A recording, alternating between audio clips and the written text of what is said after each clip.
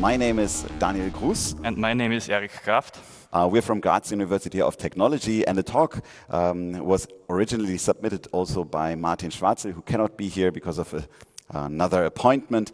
And uh, I thought, because I mean, uh, you are still a student, Martin is still a student, and I'm a professor, I thought I should wear a jacket now so that I look a bit more professional.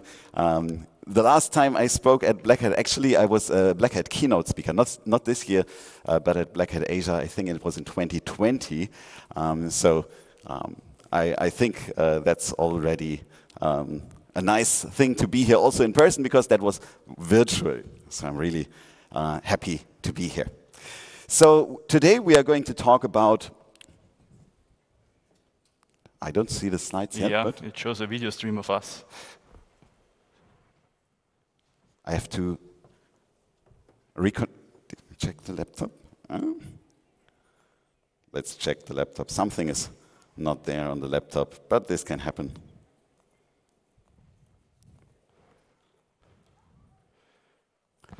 That's better, almost, almost perfect, right? Yeah. Nice.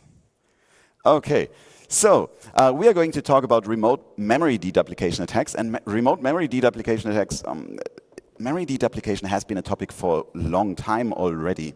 And, and I know what this bug is. yeah, I had this. Um, let me just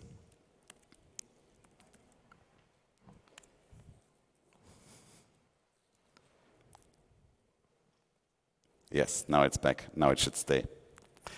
Okay, um, so remote memory deduplication attacks, um, they have been, a, um, yeah, that's actually the remote part is the new part. Memory deduplication attacks have been around for a long time, um, and uh, in this talk we will focus on the remote scenario.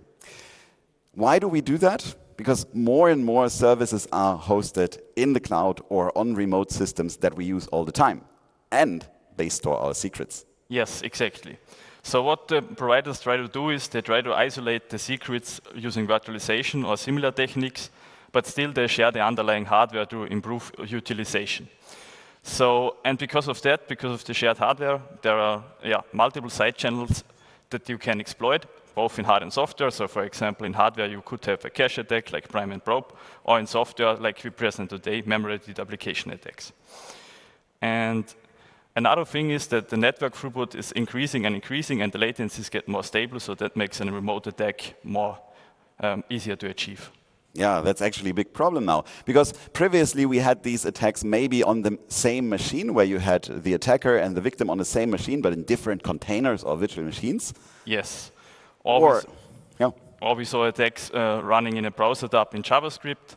Exactly, yeah. Or um, what we look at now, on the network. So we want to attack a system where we don't run a single line of code. The other system is not under our control. We just send network requests there, and we still want to leak all the secrets. Do you think that's possible?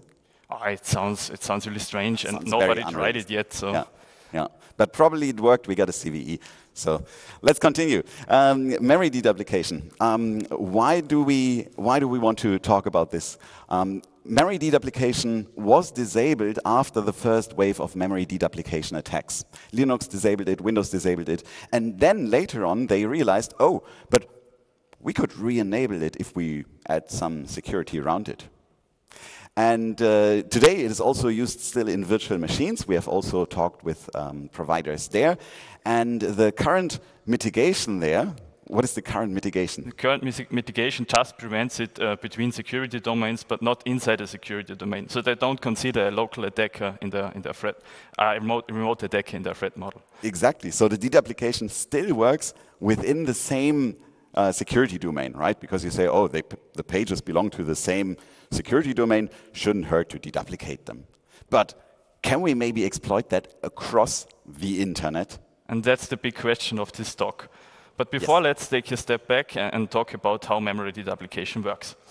So we see here a setup. We see on the left side there is the attacker process, the virtual address space of the attacker process. On the right side there's the virtual address space of the victim process.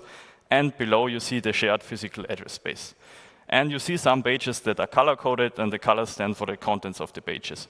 So pages with the same color have the same content.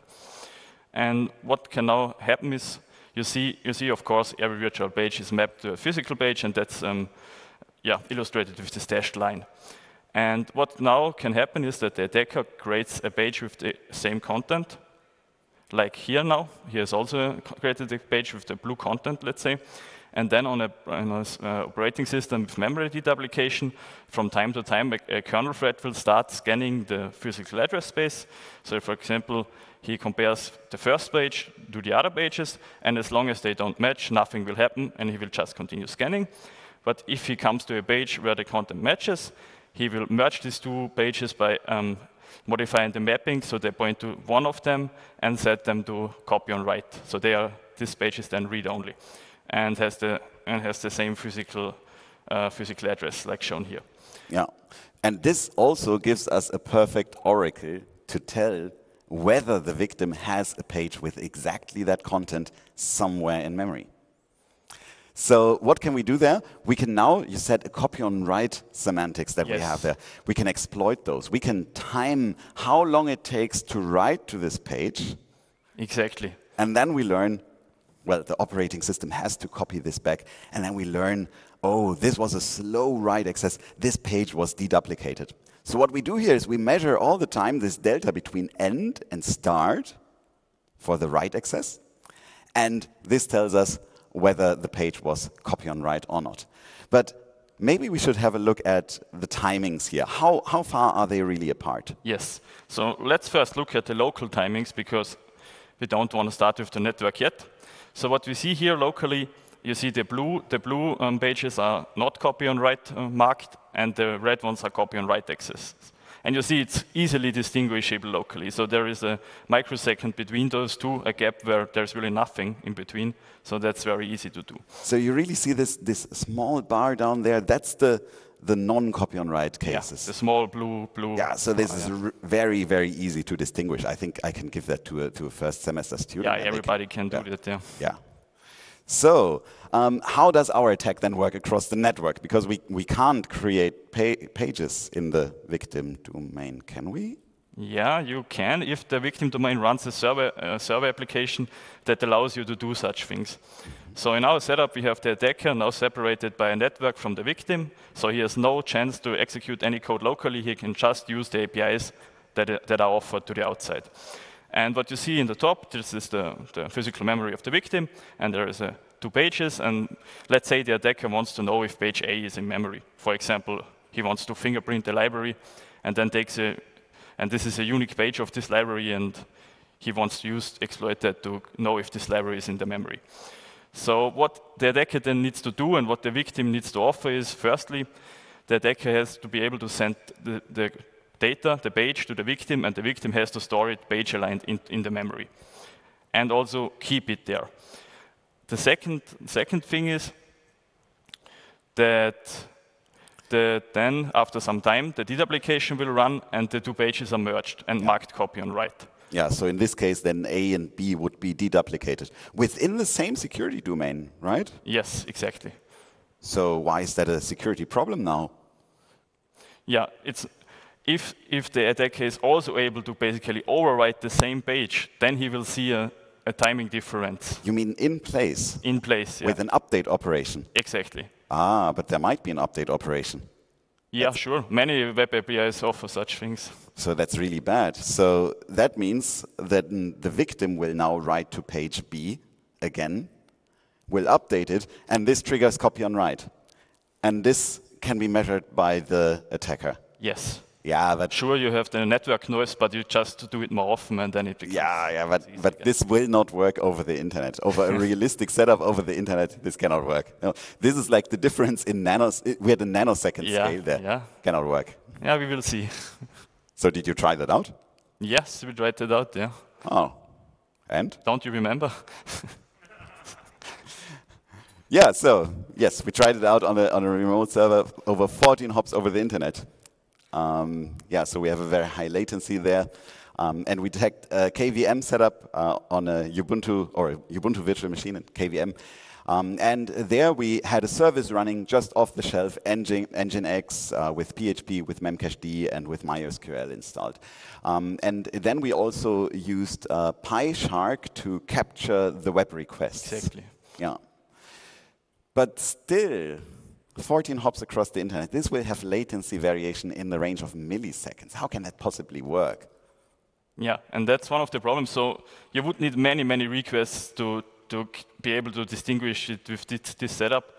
So one thing you need to do is you have to amplify this. You have to make multiple cow uh, accesses during one remote request to see the difference more easily so that the time becomes less and it's more realistic setup. Mm -hmm. So what we do, we use amplification across the internet. And like I said, you basically just increase the amount of pages you overwrite that are marked with copy on write. For fingerprinting libraries, this is easy to do. You just take multiple unique pages from the library, store it in the, in the server, and then overwrite them at once with one request. So, and um, for a covert channel, you can also just you can just amplify that by storing more, and you can also transmit multiple bytes in parallel by just storing more. And we did the, we did the requests with async IO because it's faster than doing sequential requests. And then we reached a covert channel which um, has around 35 bytes per hour. Well, actually 34 bytes per hour. How fast is that in comparison to other channels? It's so, not very fast, right? Uh, if you look at remote channels, it's, it's not bad. Okay, so take a look at uh, remote channels then. Um, so here we have uh, some of the covert channels that we had so far with page deduplication. And if we take a look there, then you see that some of them were already remote, but usually that meant that they were running in a remote controlled environment, like a browser or a cross VM or again, the browser. Mm -hmm. um, and that means there was still code running locally on that machine. So that's different in our attack, where we don't run a single line of attacker-controlled code on that machine. So we have no local execution of whatever type, um, and we still are able to leak uh, quite a lot of data over an hour. Yeah, so maybe, um, yeah, maybe let's also mention here, we can mount different attacks. Um, here it says byte-wise leakage, KSLR break, and mm -hmm. fingerprinting. Uh, maybe we can go through these attacks also, but before we do that, we should pinpoint what are the challenges to mount these attacks. The challenge, the first challenge is to amplify the latency, as uh, Erik just explained. Um, and the second challenge we also mentioned already. We need to trigger and observe those copy on write page faults while not sharing any memory with the attacker domain. Yes. Exactly. And the last, the last challenge that is not really necessary for fingerprinting or a covert channel, for example, is to find remote paths that not only allow you to store this data in a page-aligned way, so, but also to change the alignment of the, of the data you want to leak. And this gives you then more powerful attacks like byte-wise leakage of data from, from a database. So can we take a look at the first challenge maybe? Do you have any data for that, how well that works? Yes, we collected um, a plot which shows basically if you increase the number of deduplicated pages, the time increases linearly with that. So that's very nice. So you can just increase the number of, of, of pages that are deduplicated, and then you get a, a, nice amplifications out of there. And this scales linearly, so you can yeah. basically scale it to any number of microseconds or even milliseconds yes. that you need yes. for your measurement. Okay, so that sounds bad. Uh, but there are two more challenges. Maybe we figure out we can't solve them, and mm. then we're good, yep. right? So um, let's, let's uh, try the second challenge. So how do you trigger those copy on write page faults without shared memory? So there are multiple possibilities. Some websites offer file upload, and files are uh, buffered in the page cache, which is part of the physical memory. Mm -hmm. And if there is also an overwrite operation offered, then you can already use this as a, as a possible uh, solution. And we tried this with, uh, for instance, with Memcache. Yes. Uh, data will be cached in RAM, so it's not written back to the disk. Um, and the attacker can update or overwrite the uploaded data and with that trigger those page faults. Well, again, the question, how well does that work? Exactly. If you combine that with the amplification, we have another plot for that. Um, and here you can see uh, how the accuracy goes up with the number of requests that you make.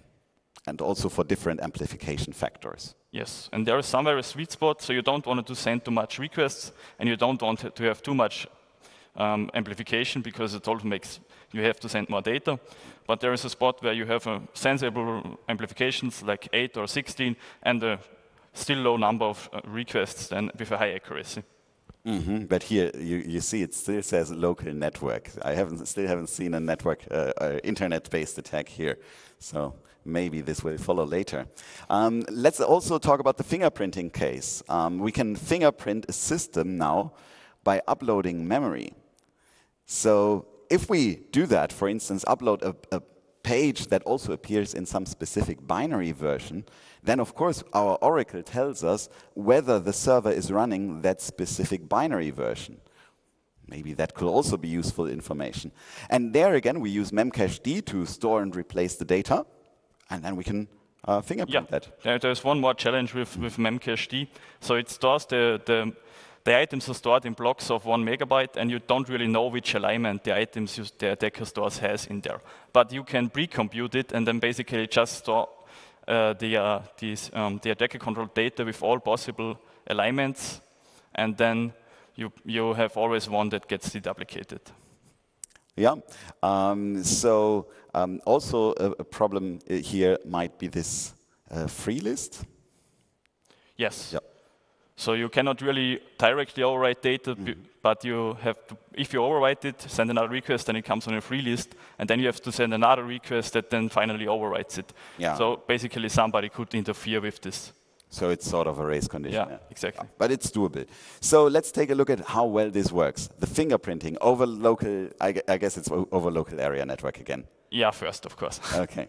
So here you can see it. Um, and you see that a timing histogram here for the non-copy on write case, so where the attacker didn't guess correctly, um, and the number of requests that you that you have on the y-axis, and here the copy on write case. Yes. So this is the case where the attacker found a page that exists like this on the system. So we can clearly distinguish those two cases based on the histograms. But what about the internet? Yeah, let's take a look at it. So as before, we have the non-copy and write case. Uh, you first. need more requests here. Yeah, that's the first thing you, you, you see. You already need more requests. Mm. And also the timing is larger, of course. But then let's look also at the cow case. And yeah, I mean, still you can distinguish it. It's Not so nice, but still yeah, possible. It's, it okay. has more noise, but it's still possible. Yeah. yeah. Okay, but that's only fingerprinting. That's not a real good attack yet. Can you do something like breaking KSLR? Remotely without running a single line of code on that system? yes. Okay, then let's do that. So we want to break KSLR in remote VMs. And um, what is the idea there? So the idea is you search pages in the, in the kernel text that are static except some pointer to the kernel text itself. And then you basically only have to try all 512 different possibilities the kernel text can get from the, from the ASLR. And yeah. so that's a page that contains basically all predictable data and just these yeah, 512 just this different. Yeah. Okay. Yeah. So you have only to guess the pointer, different pointer possibilities, and yeah, then you have it. But I can parallel that, uh, run that in parallel. Exactly. you can just it. upload your 512 guesses, then overwrite them and see who, which one has the largest time you may have to repeat this a few times because of the noises we saw, but then you have this. Uh, okay, so this attack will be very slow. It will take ages then, I guess. so the attacker uploads uh, some data, triggers the page faults, and that's it. So, so how well does it work? It works very well, I would say. But let's see, let's look at, at, at the picture. Mm -hmm. So mm-hmm. I guess everybody can see which is the right kernel offset here. It's not too complicated. Yeah, so the one at the, on the left where the timing is high, yeah. where we clearly got a copy on write uh, fault. Um, yeah, and overall, this, time, uh, this, uh, this attack also is very, very fast. Yeah. Only a few uh, seconds, minutes. Minutes, minutes. Below four minutes, so it's yeah. really nice. So this is really nice. Um, but then we have a third challenge, and this one is tricky to really leak data byte by byte. And there we focused on a setup with InnoDB, um, mm -hmm. a database management system, um, for instance, used in MySQL, MariaDB. Um, so what do we exploit there in InnoDB? So InnoDB has an optimization. that's called reorganization. It is used if the uh, free space is too fragmented into an index page that a new record would fit in there. And then it basically rebuilds this page by inserting all, all records again in the logical order and then inserting the updated record. And an attacker can exploit this optimization to basically control the alignment of a secret record.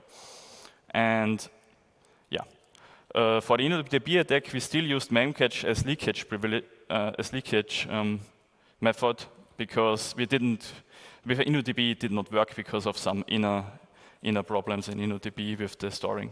Yeah, but it's still fine. Yeah, it's right? still fine. I mean, you can data. use anything for leaking that you want. As, uh, yeah. yeah. So, InnoDB.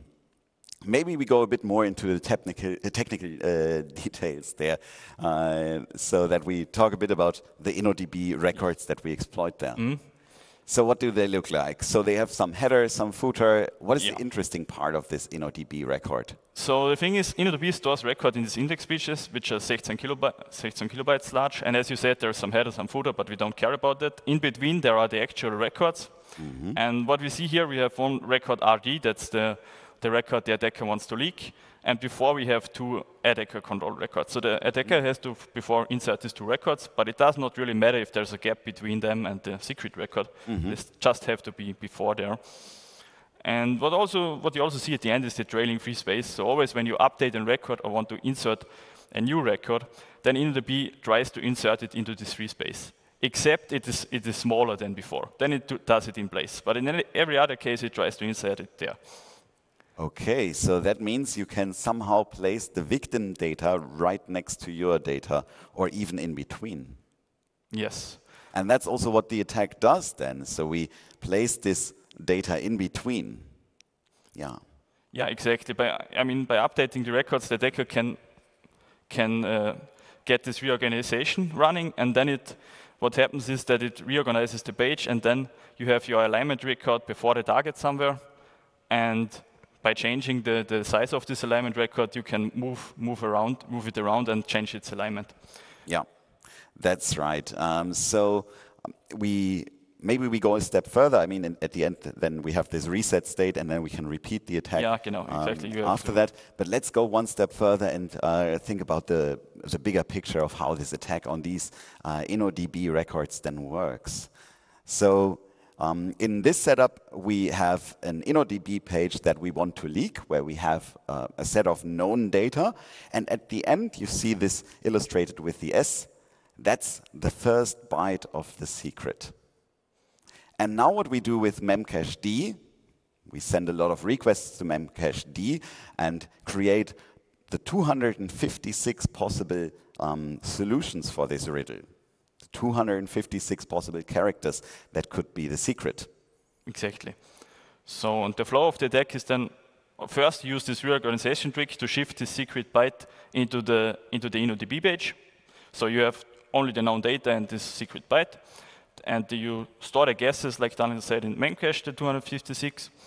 And then you basically just wait for deduplication. So the operating system will then run the, the kernel thread, and after some point it will be done. And what you then see is that exactly the byte with the correct secret guess will be deduplicated, while the others are not deduplicated. Yeah, exactly. But then doing that a single time is not enough, right? No, it's not enough. So. And also, we want to leak more than just one byte. Yes. So what do we do? I mean, now we learned the secret byte, yeah, exactly. So we have more known data. Exactly. And what you then can do is just again do this, do this um, reorganization to shift the next byte in, and then you continue and continue until you have your whole secret leaked. And that means you can read all the memory contents there byte by byte yes. without running a single line of attacker controlled code on that system. It just uses the offered APIs. That's, that's pretty bad, yeah we should do something against that. But maybe let's further talk about the attack before we talk about possible mitigations. Yeah, so one thing we did not have yet seen is we didn't have an amplification now. We just had this one index page, and it's, like I said before, you would need many, many, many requests to then can distinguish it, and that's not very interesting because the attack gets very, very slow. Mm -hmm. So we also use another trick to still have this, this amplification. And so what it looks like if you change the alignment, you, the, the bytes you use for the alignment you can change. For example, here it's A. And in Memcached, like before, like it was before, you would have then this A alignment byte and all the attacker guesses. Yeah, and they would then be deduplicating the Yeah. right uh, prediction. Yeah, exactly. Like we, like we showed before, that is basically the same case. But how do you amplify it then? If I create further pages with the same content, they will all be deduplicated with the same page. Yes. And there's one trick you can use. So you basically change this alignment byte. Okay. That's waiting for Ah, the yeah, we application. We, we saw this already before, so let's skip that. But you can, for example, change the amplification byte. Now we have a B here. And in Memcache, you basically store as many different alignment bytes as you want to have amplification. Ah, so, So- that means now when you start the attack, now the correct page from the first row would still be deduplicated, but you change the InnoDB page now, so Yes. this gets a copy on write fault, but you're not interested in that one, in the timing Yeah, of that I mean, I don't care about what is in Inno to. I, But yeah. now you have a second page with the Bs, Yeah. and you can create further Memcached pages. Exactly. And there, again, the one with the right secret guess will be deduplicated, and that's how you then again get some dedu- deduplication, ah, amplification as before. Very nice. And then you do this with an amplification factor of, I don't know, here in this Yeah, example, 26. 26.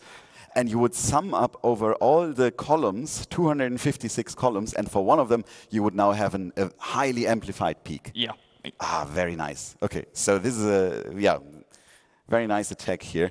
Um, so, yeah, so we, we um, will store this information then, and then we have recovered uh, that byte, and then the overall attack works like in the overview. Um, but how do we how do we stop that? Because now this looks a bit uh, dangerous. How do we stop these attacks?